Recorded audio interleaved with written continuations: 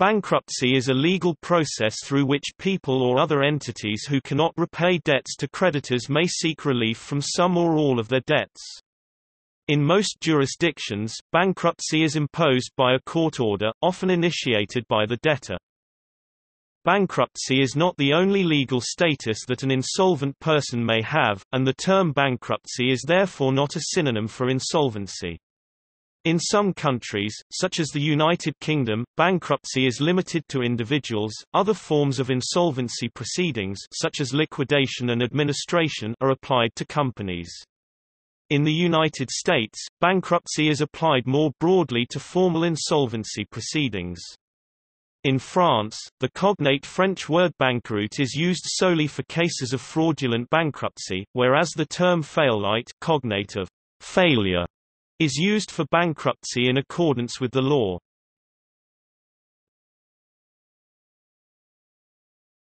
Topic: Etymology. The word bankruptcy is derived from Italian bancarotta, meaning broken bench, which may stem from a widespread custom in the Republic of Genoa of breaking a money changer's bench or counter to signify their insolvency, or which may be only a figure of speech.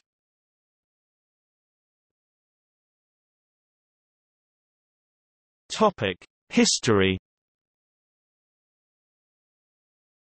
In ancient Greece, bankruptcy did not exist.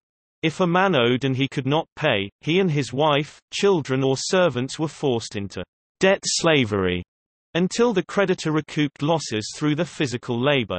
Many city-states in ancient Greece limited debt slavery to a period of five years. Debt slaves had protection of life and limb, which regular slaves did not enjoy.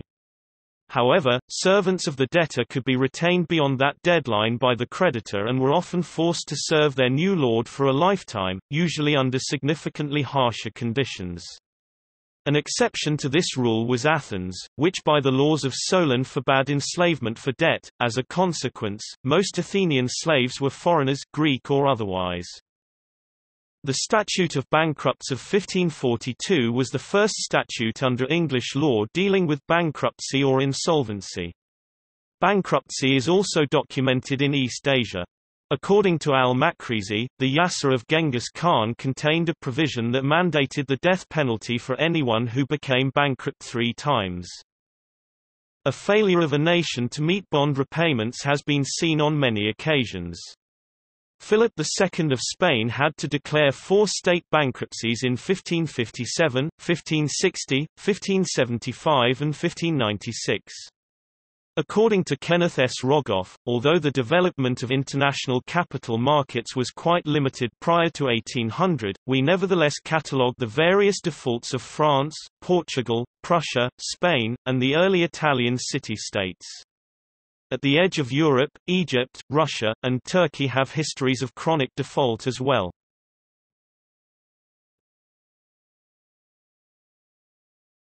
Topic: Modern law and debt restructuring.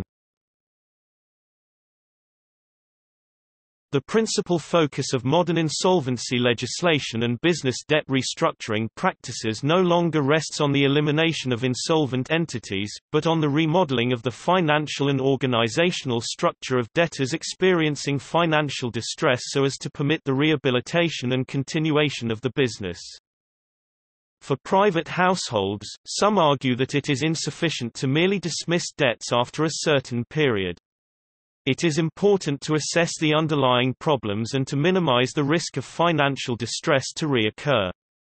It has been stressed that debt advice, a supervised rehabilitation period, financial education and social help to find sources of income and to improve the management of household expenditures must be equally provided during this period of rehabilitation Reifner al., 2003, Gerhardt, 2009, Frade, 2010. In most EU member states, debt discharge is conditioned by a partial payment obligation and by a number of requirements concerning the debtor's behavior. In the United States US, discharge is conditioned to a lesser extent. The spectrum is broad in the EU, with the UK coming closest to the US system Reifner et al., 2003, Gerhardt, 2009, Frade, 2010. The other member states do not provide the option of a debt discharge.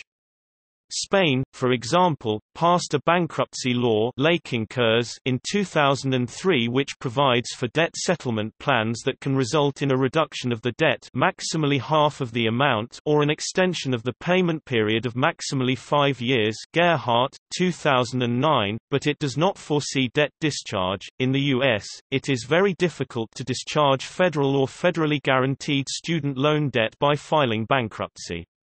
Unlike most other debts, those student loans may be discharged only if the person seeking discharge establishes specific grounds for discharge under the Brunner test, under which the court evaluates three factors.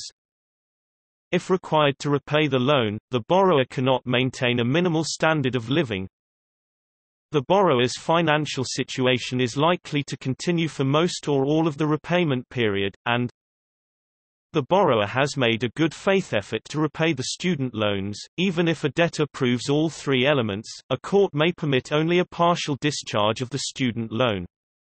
Student loan borrowers may benefit from restructuring their payments through a Chapter 13 bankruptcy repayment plan, but few qualify for discharge of part or all of the student loan debt.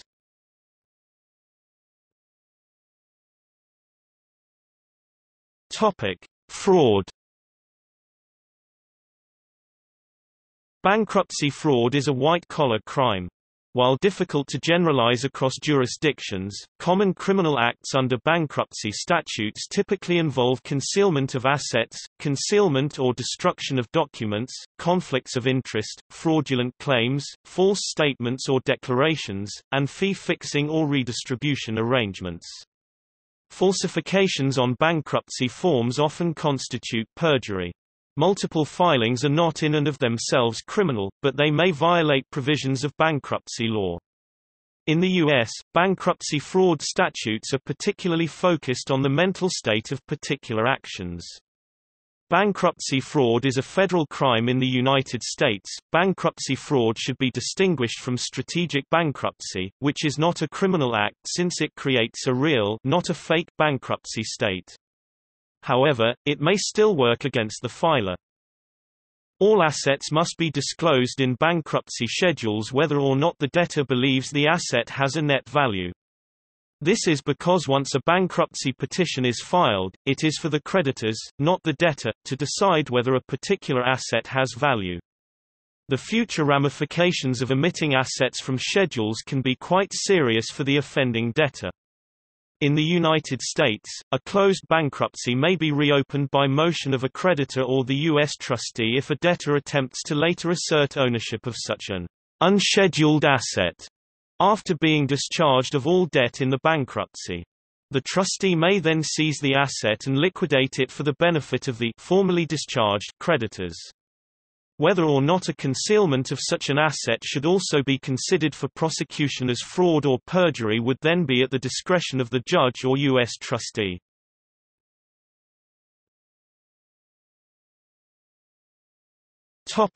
By country.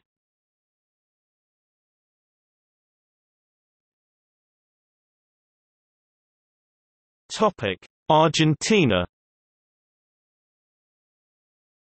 In Argentina the National Act 24.522 de concursos y quiebras regulates the bankruptcy and the reorganization of the individuals and companies, public entities are not included.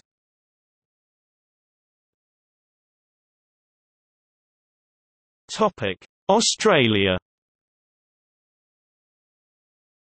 In Australia, bankruptcy is a status which applies to individuals and is governed by the Federal Bankruptcy Act 1966.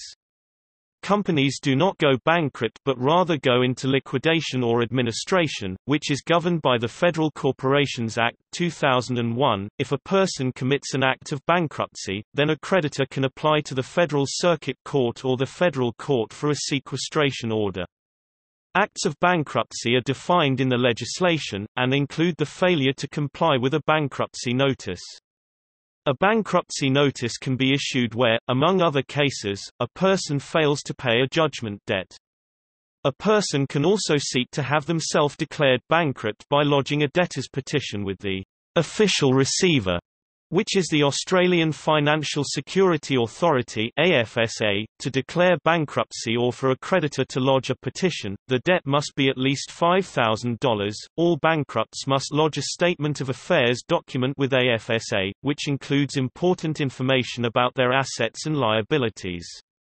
A bankruptcy cannot be annulled until this document has been lodged. Ordinarily, a bankruptcy lasts three years from the filing of the Statement of Affairs with AFSA. A bankruptcy trustee in most cases, the official receiver is appointed to deal with all matters regarding the administration of the bankrupt estate. The trustee's job includes notifying creditors of the estate and dealing with creditor inquiries, ensuring that the bankrupt complies with their obligations under the Bankruptcy Act, investigating the bankrupt's financial affairs, realizing funds to which the estate is entitled under the Bankruptcy Act and distributing dividends to creditors if sufficient funds become available. For the duration of their bankruptcy, all bankrupts have certain restrictions placed upon them. For example, a bankrupt must obtain the permission of the trustee to travel overseas. Failure to do so may result in the bankrupt being stopped at the airport by the Australian Federal Police. Additionally, a bankrupt is required to provide their trustee with details of income and assets. If the bankrupt does not comply with the trustee's request to provide details of income, the trustee may have grounds to lodge an objection to discharge, which has the effect of extending the bankruptcy for a further five years. The realization of funds usually comes from two main sources, the bankrupt's assets and the bankrupt's wages. There are certain assets that are protected, referred to as protected assets. These include household furniture and appliances, tools of the trade and vehicles up to a certain value. All other assets of value are sold. If a house or car is above a certain value, the bankrupt can buy the interest back from the estate in order to keep the asset.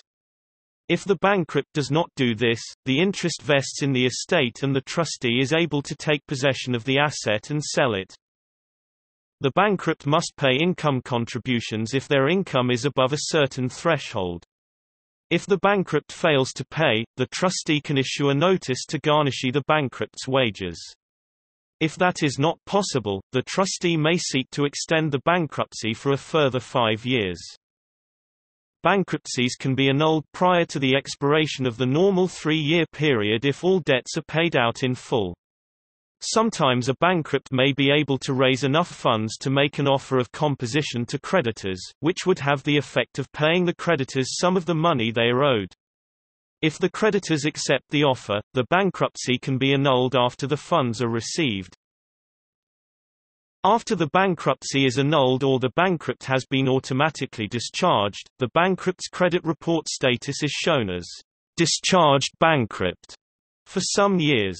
The maximum number of years this information can be held is subject to the retention limits under the Privacy Act. How long such information is on a credit report may be shorter, depending on the issuing company, but the report must cease to record that information based on the criteria in the Privacy Act.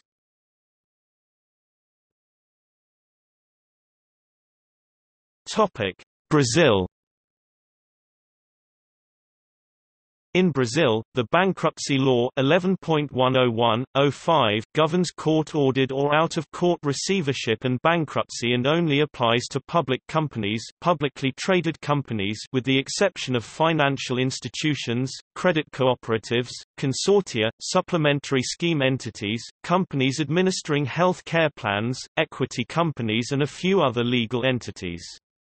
It does not apply to state-run companies. Current law covers three legal proceedings. The first one is bankruptcy itself. Falencia. Bankruptcy is a court-ordered liquidation procedure for an insolvent business. The final goal of bankruptcy is to liquidate company assets and pay its creditors. The second one is court-ordered restructuring recuperação judicial. The goal is to overcome the business crisis situation of the debtor in order to allow the continuation of the producer, the employment of workers and the interests of creditors, leading, thus, to preserving company, its corporate function and develop economic activity. It's a court procedure required by the debtor which has been in business for more than two years and requires approval by a judge. The extrajudicial restructuring extrajudicial is a private negotiation that involves creditors and debtors and, as with court-ordered restructuring, also must be approved by courts.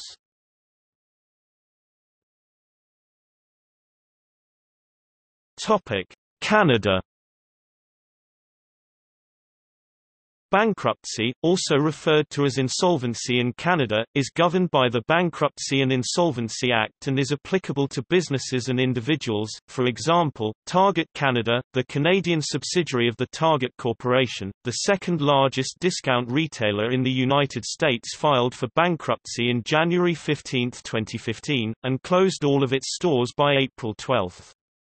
The Office of the Superintendent of Bankruptcy, a federal agency, is responsible for overseeing that bankruptcies are administered in a fair and orderly manner by all licensed trustees in Canada. Trustees in bankruptcy, 1041 individuals licensed to administer insolvencies, bankruptcy and proposal estates and are governed by the Bankruptcy and Insolvency Act of Canada. Bankruptcy is filed when a person or a company becomes insolvent and cannot pay their debts as they become due and if they have at least $1,000 in debt. In 2011, the Superintendent of Bankruptcy reported that trustees in Canada filed 127,774 insolvent estates. Consumer estates were the vast majority, with 122,999 estates. The consumer portion of the 2011 volume is divided into 77,993 bankruptcies and 45,006 consumer proposals. This represented a reduction of 8.9% from 2010. Commercial estates filed by Canadian trustees in 2011 4,775 estates, 3,643 bankruptcies and 1,132 Division 1 proposals. This represents a reduction of 8.6% over 2010. Duties of trustees Some of the duties of the trustee in bankruptcy are to Review the file for any fraudulent preferences or reviewable transactions. Chair meetings of creditors. Sell any non-exempt assets. Object to the bankrupt's discharge. Distribute funds to creditors. Creditors meetings. Creditors become involved by attending creditors meetings. The trustee calls the first meeting of creditors for the following purposes to consider the affairs of the bankrupt, to affirm the appointment of the trustee or substitute another in place thereof, to appoint inspectors, to give such directions to the trustee as the creditors may see fit with reference to the administration of the estate, consumer proposals. In Canada, a person can file a consumer proposal as an alternative to bankruptcy. A consumer proposal is a negotiated settlement between a debtor and their creditors. A typical proposal would involve a debtor making monthly payments for a maximum of five years, with the funds distributed to their creditors. Even though most proposals call for payments of less than the full amount of the debt owing, in most cases, the creditors accept the deal. Because if they do not, the next alternative may be personal bankruptcy, in which the creditors get even less money. The creditors have 45 days to accept or reject the consumer proposal. Once the proposal is accepted by both the creditors and the court, the debtor makes the payments to the proposal administrator each month or as otherwise stipulated in their proposal, and the general creditors are prevented from taking any further legal or collection action. If the proposal is rejected, the debtor is returned to his prior insolvent state and may have no alternative but to declare personal bankruptcy.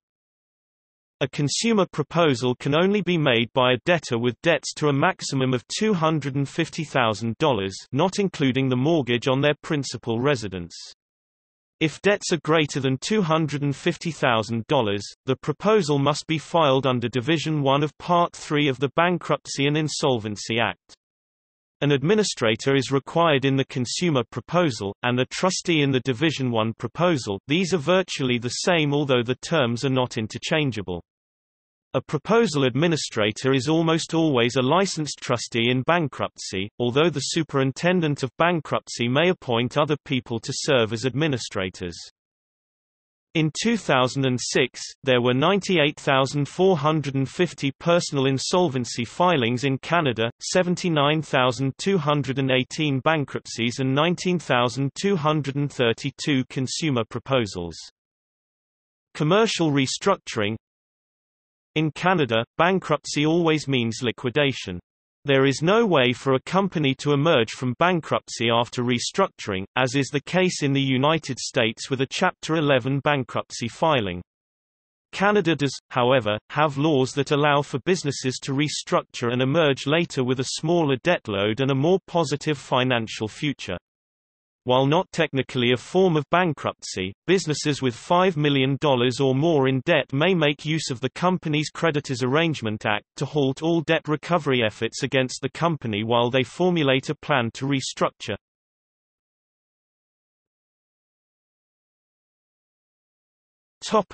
China The People's Republic of China legalized bankruptcy in 1986, and a revised law that was more expansive and complete was enacted in 2007.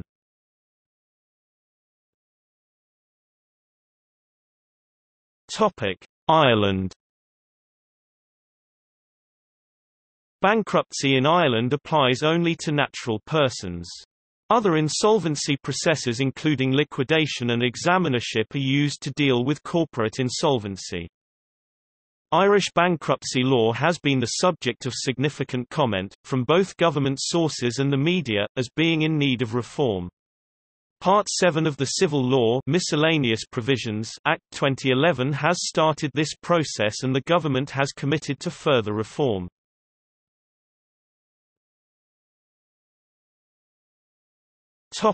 India The Parliament of India in the first week of May 2016 passed Insolvency and Bankruptcy Code 2016 new code. Earlier a clear law on corporate bankruptcy did not exist, even though individual bankruptcy laws have been in existence since 1874. The earlier law in force was enacted in 1920 called the Provincial Insolvency Act. The legal definitions of the terms bankruptcy, insolvency, liquidation and dissolution are contested in the Indian legal system. There is no regulation or statute legislated upon bankruptcy which denotes a condition of inability to meet a demand of a creditor as is common in many other jurisdictions. Winding up of companies was in the jurisdiction of the courts which can take a decade even after the company has actually been declared insolvent. On the other hand, supervisory restructuring at the behest of the Board of Industrial and Financial Reconstruction is generally undertaken using receivership by a public entity.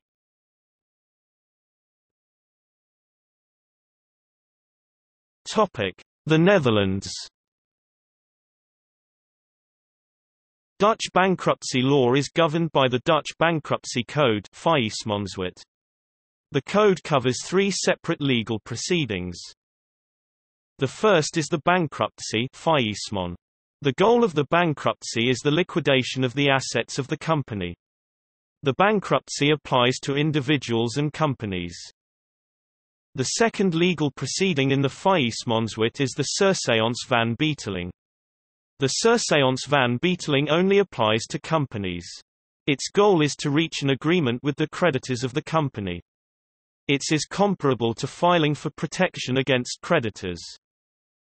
The third proceeding is the Schuldsanering. This proceeding is designed for individuals only and is the result of a court ruling. The judge appoints a monitor. The monitor is an independent third party who monitors the individual's ongoing business and decides about financial matters during the period of the Schuldsanering. The individual can travel out of the country freely after the judge's decision on the case.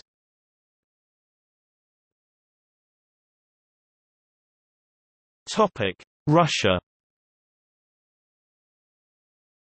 Federal Law No. 127 FZ on insolvency bankruptcy, dated 26 October 2002 as amended the Bankruptcy Act, replacing the previous law in 1998, to better address the above problems and a broader failure of the action. Russian insolvency law is intended for a wide range of borrowers, individuals and companies of all sizes, with the exception of state-owned enterprises, government agencies, political parties and religious organizations. There are also special rules for insurance companies, professional participants of the securities market, agricultural organizations and other special laws for financial institutions and companies in the natural monopolies in the energy industry. Federal Law No. 40FZ on insolvency bankruptcy, dated 25 February 1999 as amended the Insolvency Law of Credit Institutions contains special provisions in relation to the opening of insolvency proceedings in relation to the credit company. Insolvency Provisions Act – credit organizations used in conjunction with the provisions of the Bankruptcy Act. Bankruptcy law provides for the following stages of insolvency proceedings. Monitoring procedure or supervision The economic recovery External control Liquidation and Amicable agreement the main face of the bankruptcy process is the insolvency officer, trustee in bankruptcy, bankruptcy manager. At various stages of bankruptcy, he must be determined, the temporary officer in monitoring procedure, external manager in external control, the receiver or administrative officer in the economic recovery, the liquidator. During the bankruptcy trustee in bankruptcy insolvency officer has a decisive influence on the movement of assets property of the debtor, the debtor and has a key influence on the economic and legal aspects of its operations.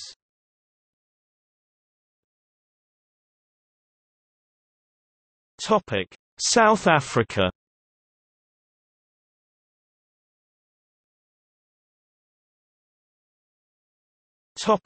Switzerland Under Swiss law, bankruptcy can be a consequence of insolvency. It is a court-ordered form of debt enforcement proceedings that applies, in general, to registered commercial entities only. In a bankruptcy, all assets of the debtor are liquidated under the administration of the creditors, although the law provides for debt restructuring options similar to those under Chapter 11 of the U.S. Bankruptcy Code.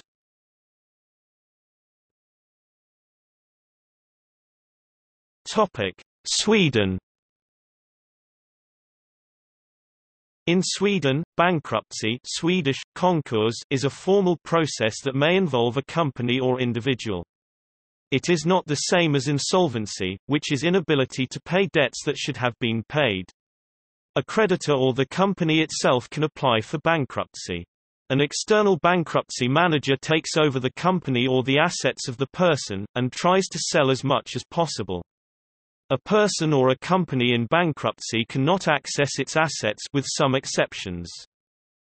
The formal bankruptcy process is rarely carried out for individuals.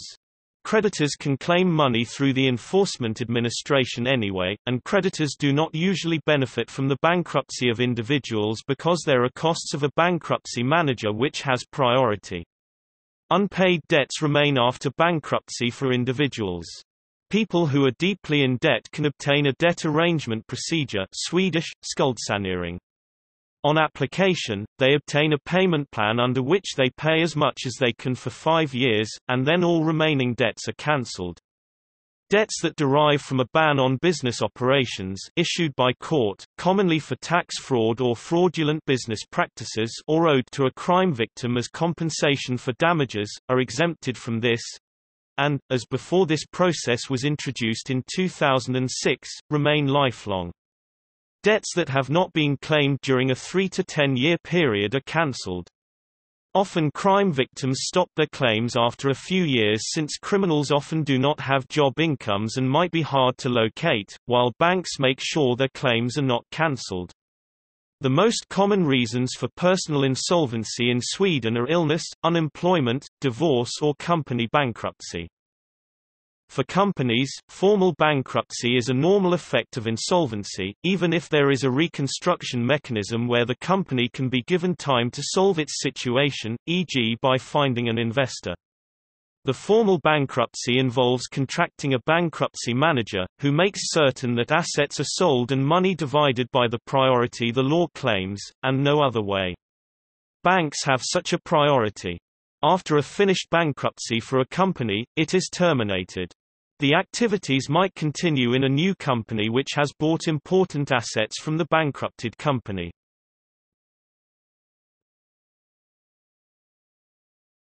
Topic: United Kingdom Bankruptcy in the United Kingdom in a strict legal sense relates only to individuals including sole proprietors and partnerships. Companies and other corporations enter into differently named legal insolvency procedures, liquidation and administration administration order and administrative receivership. However, the term bankruptcy is often used when referring to companies in the media and in general conversation. Bankruptcy in Scotland is referred to as sequestration. To apply for bankruptcy in Scotland, an individual must have more than £1,500 of debt. A trustee in bankruptcy must be either an official receiver a civil servant or a licensed insolvency practitioner. Current law in England and Wales derives in large part from the Insolvency Act 1986. Following the introduction of the Enterprise Act 2002, a UK bankruptcy now normally lasts no longer than 12 months, and may be less if the official receiver files in court a certificate that investigations are complete. It was expected that the UK government's liberalisation of the UK bankruptcy regime would increase the number of bankruptcy cases. Initially, cases increased, as the Insolvency Service statistics appear to bear out. Since 2009, the introduction of the debt relief order has resulted in a dramatic fall in bankruptcies, the latest estimates for year 2014-15 being significantly less than 30,000 cases. Pensions the UK bankruptcy law was changed in May 2000, effective May 29, 2000. Debtors may now retain occupational pensions while in bankruptcy, except in rare cases. Proposed reform The government have updated legislation 2016 to streamline the application process for UK bankruptcy. UK residents now need to apply online for bankruptcy, there is an upfront fee of £655. The process for residents of Northern Ireland differs, applicants must follow the older process of applying through the courts.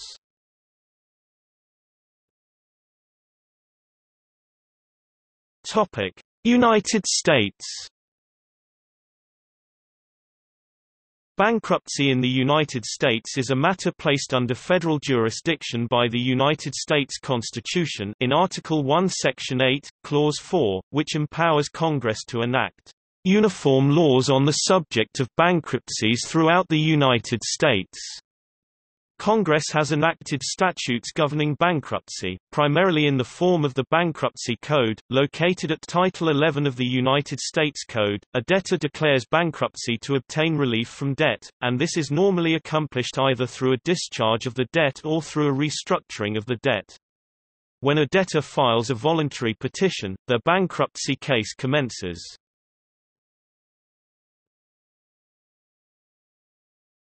Topic: Debts and exemptions While bankruptcy cases are always filed in United States Bankruptcy Court an adjunct to the U.S. District Courts, bankruptcy cases, particularly with respect to the validity of claims and exemptions, are often dependent upon state law. A bankruptcy exemption defines the property a debtor may retain and preserve through bankruptcy. Certain real and personal property can be exempted on Schedule C of a debtor's bankruptcy forms, and effectively be taken outside the debtor's bankruptcy estate. Bankruptcy exemptions are available only to individuals filing bankruptcy. There are two alternative systems that can be used to exempt property from a bankruptcy estate, federal exemptions available in some states but not all, and state exemptions, which vary widely between states. For example, Maryland and Virginia, which are adjoining states, have different personal exemption amounts that cannot be seized for payment of debts. This amount is the first $6,000 in property or cash in Maryland, but normally only the first $5,000 in Virginia. State law therefore plays a major role in many bankruptcy cases, such that there may be significant differences in the outcome of a bankruptcy case depending upon the state in which it is filed. After a bankruptcy petition is filed, the court schedules a hearing called a 341 meeting or meeting of creditors, at which the bankruptcy trustee and creditors review the petitioner's petition and supporting schedules, question the petitioner, and can challenge exemptions they believe are improper.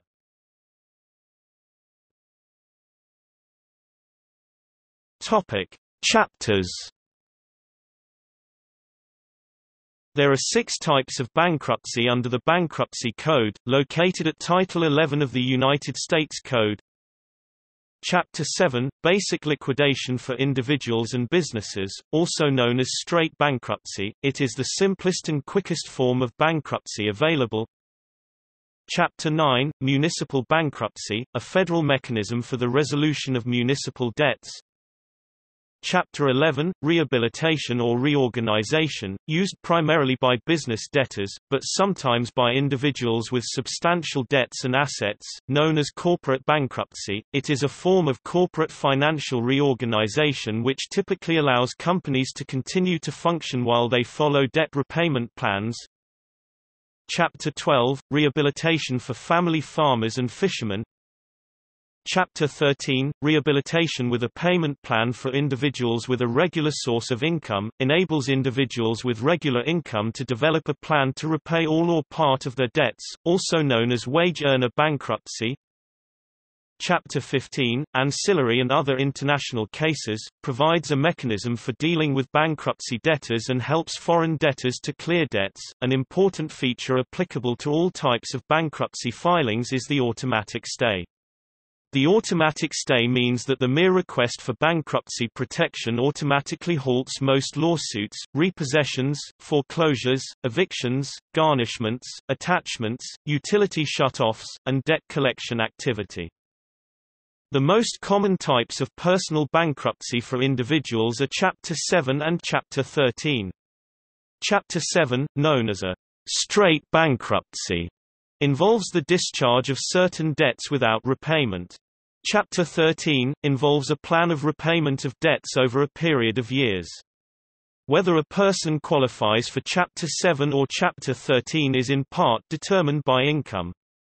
As many as 65% of all U.S. consumer bankruptcy filings are Chapter 7 cases.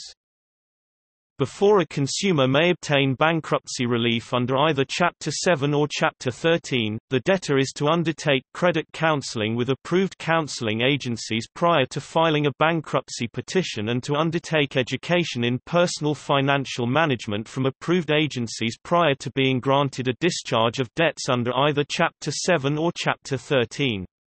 Some studies of the operation of the credit counseling requirement suggest that it provides little benefit to debtors who receive the counseling because the only realistic option for many is to seek relief under the bankruptcy code. Corporations and other business forms normally file under chapters 7 or 11. Topic: Chapter 7 Often called straight bankruptcy, or simple bankruptcy. A Chapter 7 bankruptcy potentially allows debtors to eliminate most or all of their debts over a period of as little as three or four months. In a typical consumer bankruptcy, the only debts that survive are Chapter 7 are student loans, child support obligations, some tax bills and criminal fines. Credit cards, pay-day loans, personal loans, medical bills, and just about all other bills are discharged. In Chapter 7, a debtor surrenders non-exempt property to a bankruptcy trustee, who then liquidates the property and distributes the proceeds to the debtor's unsecured creditors. In exchange, the debtor is entitled to a discharge of some debt. However, the debtor is not granted a discharge if guilty of certain types of inappropriate behavior e.g., concealing records relating to financial condition and certain debts e.g., spousal and child support and most student loans. Some taxes are not discharged even though the debtor is generally discharged from debt. Many individuals in financial distress own only exempt property e.g., clothes, household goods, an older car, or the tools of their trade or profession and do not have to surrender any property to the trustee. The amount of property that a debtor may exempt varies from state to state as noted above. Virginia and Maryland have a $1,000 difference. Chapter 7 relief is available only once in any 8-year period. Generally, the rights of secured creditors to their collateral continues, even though their debt is discharged. For example, absent some arrangement by a debtor to surrender a car or reaffirm a debt, the creditor with a security interest in the debtor's car may repossess the car even if the debt to the creditor is discharged. 91% of U.S. individuals who petition for relief under Chapter 7 hire an attorney to file their petitions. The typical cost of an attorney is $1,170. Alternatives to filing with an attorney are, filing pro se, hiring a non-lawyer petition preparer, or using online software to generate the petition. To be eligible to file a consumer bankruptcy under Chapter 7, a debtor must qualify under a statutory means test the means test was intended to make it more difficult for a significant number of financially distressed individual debtors whose debts are primarily consumer debts to qualify for relief under Chapter 7 of the Bankruptcy Code. The means test is employed in cases where an individual with primarily consumer debts has more than the average annual income for a household of equivalent size, computed over a 180-day period prior to filing. If the individual must take the means test, their average monthly income over this 180-day period is reduced by a series of allowances for living expenses and secured debt payments in a very complex calculation that may or may not accurately reflect that individual's actual monthly budget. If the results of the means test show no disposable income or in some cases a very small amount, then the individual qualifies for Chapter 7 relief. An individual who fails the means test will have their Chapter 7 case dismissed, or may have to convert the case to a Chapter 13 bankruptcy. If a debtor does not qualify for relief under Chapter 7 of the Bankruptcy Code, either because of the means test or because Chapter 7 does not provide a permanent solution to delinquent payments for secured debts, such as mortgages or vehicle loans, the debtor may still seek relief under Chapter 13 of the Code. A Chapter 13 plan often does not require repayment to general unsecured debts, such as credit cards or medical bills. Generally, a trustee sells most of the debtor's assets to pay off creditors. However, certain debtor assets will be protected to some extent by bankruptcy exemptions. These include Social Security payments, unemployment compensation, limited equity in a home, car, or truck, household goods and appliances, trade tools, and books. However, these exemptions vary from state to state. Topic: Chapter 11 In Chapter 11 bankruptcy, the debtor retains ownership and control of assets and is retermed a debtor in possession DIP. The debtor in possession runs the day-to-day -day operations of the business while creditors and the debtor work with the bankruptcy court in order to negotiate and complete a plan. Upon meeting certain requirements e.g., fairness among creditors, priority of certain creditors creditors are permitted to vote on the proposed plan. If a plan is confirmed, the debtor continues to operate and pay debts under the terms of the confirmed plan. If a specified majority of creditors do not vote to confirm a plan, additional requirements may be imposed by the court in order to confirm the plan. Debtors filing for Chapter 11 protection a second time are known informally as Chapter 22 filers. Topic. Chapter 13 in Chapter 13, debtors retain ownership and possession of all their assets, but must devote some portion of future income to repaying creditors, generally over three to five years. The amount of payment and period of the repayment plan depend upon a variety of factors, including the value of the debtor's property and the amount of a debtor's income and expenses. Under this chapter, the debtor can propose a repayment plan in which to pay creditors over three to five years. If the monthly income is less than the state's median income, the plan is for three years, unless the court finds just cause to extend the plan for a longer period. If the debtor's monthly income is greater than the median income for individuals in the debtor's state, the plan must generally be for five years.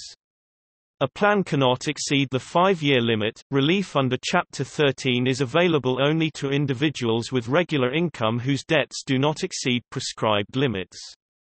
If the debtor is an individual or a sole proprietor, the debtor is allowed to file for a Chapter 13 bankruptcy to repay all or part of the debts. Secured creditors may be entitled to greater payment than unsecured creditors. In contrast to Chapter 7, the debtor in Chapter 13 may keep all property, whether or not exempt. If the plan appears feasible and if the debtor complies with all the other requirements, the bankruptcy court typically confirms the plan and the debtor and creditors are bound by its terms.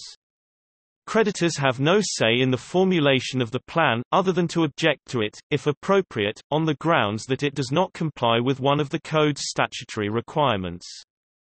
Generally, the debtor makes payments to a trustee who disburses the funds in accordance with the terms of the confirmed plan. When the debtor completes payments pursuant to the terms of the plan, the court formally grant the debtor a discharge of the debts provided for in the plan. However, if the debtor fails to make the agreed-upon payments or fails to seek or gain court approval of a modified plan, a bankruptcy court will normally dismiss the case on the motion of the trustee. After a dismissal, creditors may resume pursuit of state law remedies to recover the unpaid debt.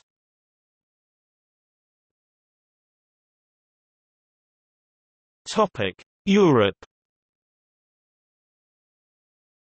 In 2004, the number of insolvencies reached record highs in many European countries. In France, company insolvencies rose by more than 4%, in Austria by more than 10%, and in Greece by more than 20%. The increase in the number of insolvencies, however, does not indicate the total financial impact of insolvencies in each country because there is no indication of the size of each case. An increase in the number of bankruptcy cases does not necessarily entail an increase in bad debt write-off rates for the economy as a whole. Bankruptcy statistics are also a trailing indicator. There is a time delay between financial difficulties and bankruptcy. In most cases, several months or even years pass between the financial problems and the start of bankruptcy proceedings. Legal, tax, and cultural issues may further distort bankruptcy figures, especially when comparing on an international basis. Two examples in Austria, more than half of all potential bankruptcy proceedings in 2004 were not opened, due to insufficient funding. In Spain, it is not economically profitable to open insolvency, bankruptcy proceedings against certain types of businesses, and therefore the number of insolvencies is quite low. For comparison, in France, more than 40,000 insolvency proceedings were opened in 2004, but under 600 were opened in Spain. At the same time the average bad debt write-off rate in France was 1.3% compared to Spain with 2.6%. The insolvency numbers for private individuals also do not show the whole picture. Only a fraction of heavily indebted households file for insolvency. Two of the main reasons for this are the stigma of declaring themselves insolvent and the potential business disadvantage. Following the soar in insolvencies in the last decade, a number of European countries, such as France, Germany, Spain and Italy, began to revamp their bankruptcy laws in 2013. They modeled these new laws after the image of Chapter 11 of the U.S. Bankruptcy Code. Currently, the majority of insolvency cases have ended in liquidation in Europe rather than the businesses surviving the crisis. These new law models are meant to change this. Lawmakers are hoping to turn bankruptcy into a chance for restructuring rather than a death sentence for the companies.